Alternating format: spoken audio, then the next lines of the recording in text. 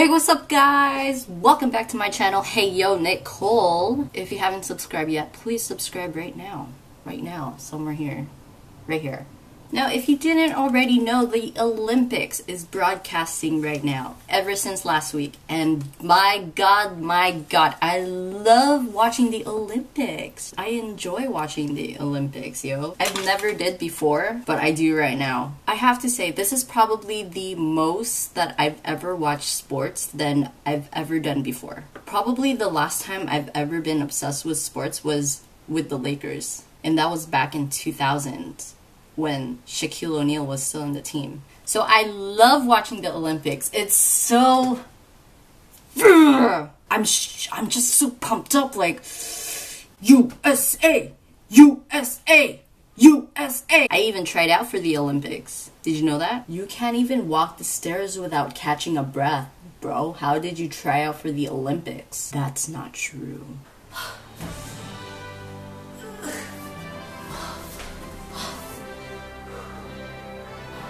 Okay, that is damning evidence. But if I did were to try out for the Olympics,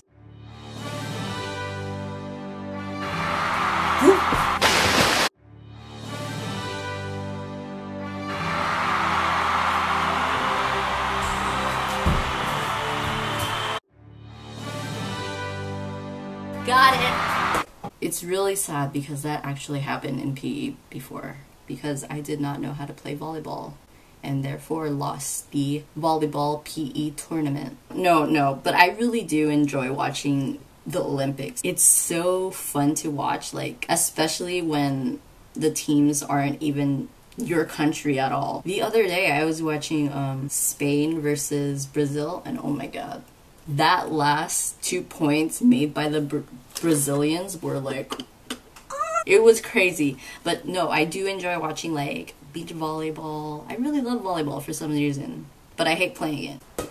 But I like watching it, but I hate playing it. Anyways, so yeah, that's all I've been doing. So because the Olympics are live right now, there's so many news. There's so many information about like the athletes and like etc etc right so on facebook yesterday i was re I, I saw on the side where it's like trending facebook news or whatever and it said one of the gymnasts i think simone simone biles like she's a gymnast on the us Amer american team and like she said in an interview where she where she said that she has a crush on who is it Zac Efron? Yeah. And Zac Efron tweeted her back. That is amazing. If only that happened in real life. I love Nathan Adrian. He is such a cutie pie. Oh my gosh, he is my ultimate crush, my ultimate Olympian crush. Like that hot bod, that hot bod, like that hot bod, that hot bod. Yeah, so there's that. And you know, like, when I watch the Olympics, um, I always feel like let's not forget that they are crazy talented and like they are awesome athletes. They work hard at what they do. But when you think about it, it's like okay, what have I done with my life? There's 19-year-old Katie Ledecky, like God bless her. I love her so much. She's my fave. But she's only 19 years old. She has 3 medals already. What do I have? The other day, I was reading up on uh, Maya DiRado I was reading up on Maya DiRado, the other US women Olympic swimmer, and oh my god, she's like, this is just on her wiki page, alright? Oh my god, I didn't even read that last night. Okay, so she's a year younger than me, and she went to Stanford University, and she graduated with a degree in management, science, and engineering. Holy shiz! And she's competing in her first Olympics right now. And she's married. Like, holy sh- girl, you got your life together. And by the time she gets back here at in the USA, she already has a job waiting for her as a business analysis. She's gonna be making bank. Oh my god, dude. And I come back to myself. What have I accomplished in my life, yo?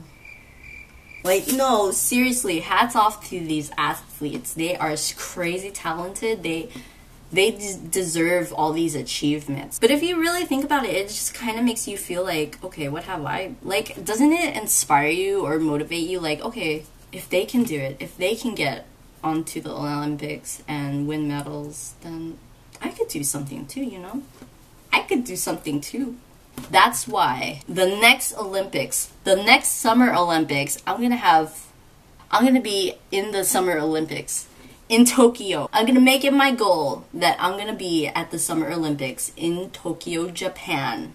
I'm gonna be vlogging over there. Hell yes. Okay, that's, I don't know. How the heck would I do that? I mean, I would have to save up so much money. I'm already paying for my loans. Please sponsor me, Olympics! The Olympics make kind of inspires me to like, I don't know, to do something. Sitting on our asses, not doing anything. I mean, guys, we're capable of doing something. Nicole, you're capable of doing something, okay? So by the next Olympics, please go to Tokyo and watch the Olympics. That girl, Maya DiRado, that was her first Olympics. This is her first Olympics, and like, she's there competing. It just came up to her. The opportunity just came up to her. I don't know, man. Like, I'm going through an existential crisis right now. Where I'm trying to get at is like, we're all good at something, and if you're not, just keep practicing and you will get there. Same time, like, don't give up. Like, there's a lot of opportunities that'll come your way, and do what you love and love what you do, and be the best that you can be. And if you have dreams, go do it. Go do it. I have a dream of becoming a 1 million subscriber YouTuber, like a big name YouTuber that I've I've always had for a really long time, like 10, 8 years ago. If you're if you're just sitting on your ass not doing anything and just keep dreaming, you're not going to get anything accomplished. Go for it. Strive for it. Run towards it. Chase your dreams, y'all. Go chase your dreams. If you haven't yet, give this a thumbs up. Comment down below if you like my content. If you genuinely like my content, please subscribe. You are you are watching the next 1 million subscriber YouTuber. I have to graduate college soon, so I might be on a hiatus. So this is nowhere near like I'm quitting YouTube kind of thing. No. Hell no, I'm not doing that.